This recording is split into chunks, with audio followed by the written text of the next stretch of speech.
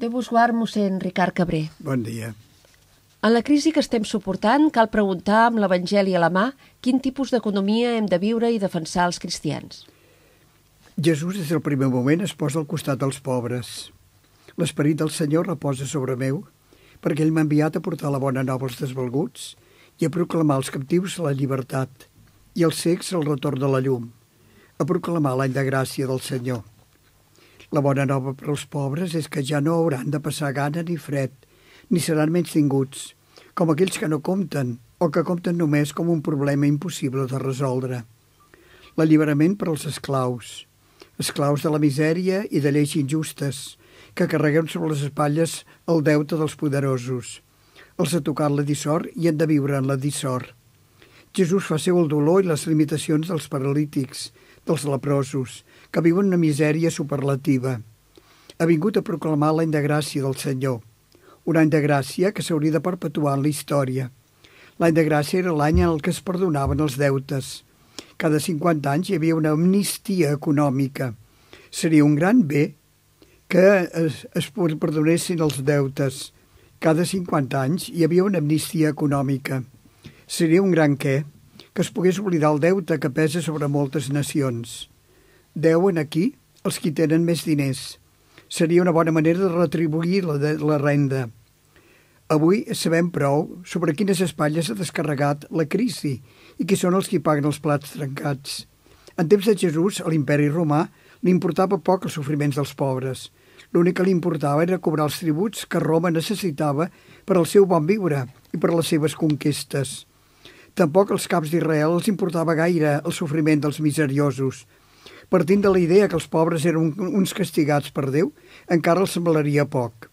El sofriment és signe de la desaprovació divina. El que vulgui seguir el camí de Jesucrist cal que reaccioni davant la situació de pobresa i de misèria en la que viuen molta gent i no pas perquè no hi hagi mitjans per superar aquesta situació. El que falta és voluntat decidida dels qui manen i tenen a les mans el destí de les persones. No és per atzar que moltes persones troben totes les portes tancades.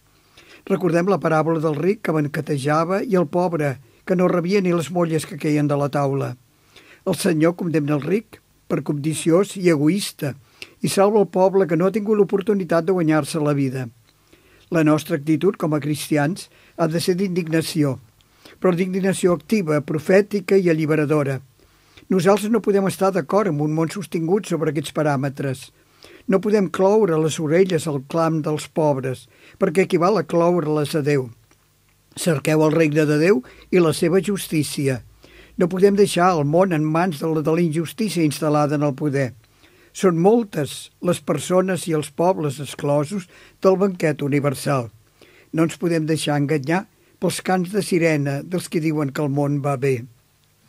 Però concretant més? Mira, concretant més. Primer, si els béns d'aquest món són per a tots, com predica constantment la doctrina social de l'Església, pel primer que ha de vetllar les autoritats tant nacionals com internacionals és que ningú no passi gana en el món.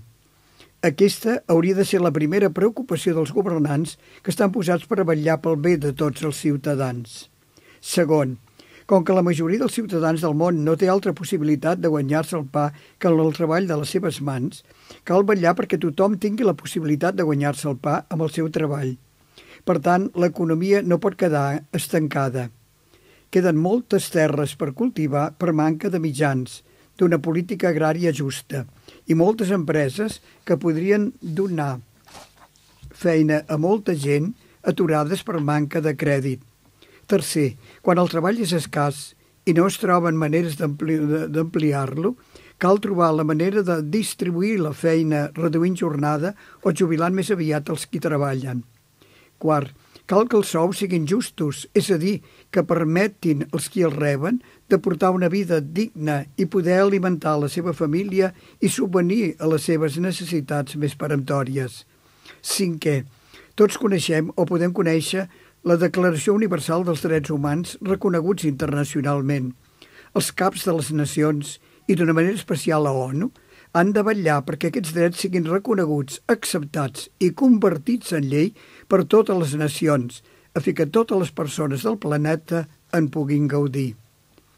Amics, moltes gràcies per la vostra atenció. Us esperem de nou un altre dia. Gràcies de nou.